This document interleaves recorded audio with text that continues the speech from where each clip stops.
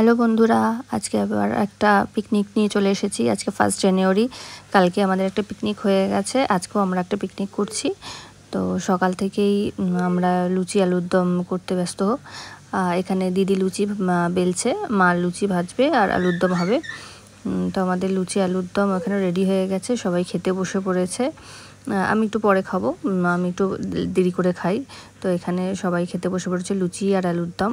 তারপরে আমাদের দুপুরে রান্না শুরু হয়ে গেছে। দুপুরে হচ্ছে বিরিয়ানি, যেটা আমাদের গতকাল হওয়ার কথা ছিল। রাতে সেটা হয়নি। তাই সেটা আজকে করা হচ্ছে। আগের দিন হয়নি কারণ সবাই খুব টায়ার্ড হয়ে গেছিল আর অনেক রান্না বেঁচে গেছিল। তাই আমাদের কালকে, গতকাল খাওয়া হয়নি। সেটা আজকে আমাদের, আজকে করা হচ্ছে। তো এখানে দিদি পেঁয়াজের বেরেস্তা করছে। তারপরে বিরিয়ানি রেডি হয়ে গেছে। দেখো, এখানে দিদি বিরিয়ানি বানিয়ে রেখেছে। দিদি বিরিয়ানিটা দারুণ করে।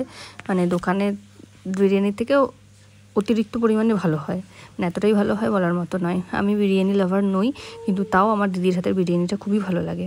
বিরিয়ানি এখানে রেডি হয়ে গেছে। এবার সবাই খেতে বসে পড়বে। আমরা খেতে বসে পড়েছি। খুব খিদেও পেয়ে গেছে। অনেক দেরি হয়ে গেছে। তো আমাদের দুপুরের খাওয়া কমপ্লিট আর রাতেও আমরা বিরিয়ানিই খাব।